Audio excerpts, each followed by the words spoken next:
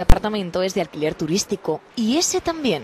Y este otro. El centro de Madrid está lleno de pisos sin ninguna licencia que completos o por habitaciones se alquilan para turistas. Un negocio que se ha multiplicado alarmantemente en los últimos años. Según datos de la Asociación de los Hoteleros de Madrid, ahora mismo son ya 10.000 las plazas ocupadas en 3.000 viviendas en el centro de la capital.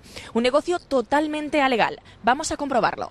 Subimos a uno de ellos. Nada más entrar, vemos cómo hay hasta una recepción y comprobamos que lo que era un piso de 200 metros cuadrados lo han transformado en 12 habitaciones que alquilan a 50 euros cada noche como si fuese un hostal. La mayoría de, de reservas es de gente que viene por 8, 10, 3 días. Ocurre con apartamentos como este. Funcionan como un hotel, pero el contrato que nos hacen es como si se alquilase un piso. De arrendamiento como una casa, ¿no?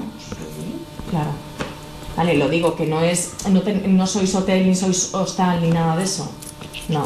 Una situación que sufren muchos vecinos de estos edificios. Dan mucho ruido, vienen por las noches eh, subiendo un- las escaleras, que esos son, claro, como son chicos jóvenes los que vienen, pues vienen con una media castaña toda. Ninguno de ellos tiene la señalización de hostal u hotel, pero se anuncian en webs donde sí aparecen con otros hoteles con licencia turística. No tener ninguna exigencia de ningún tipo, pues entonces pueden competir en mejores condiciones que nosotros. Una partida en la que ellos siguen jugando con un as en la manga.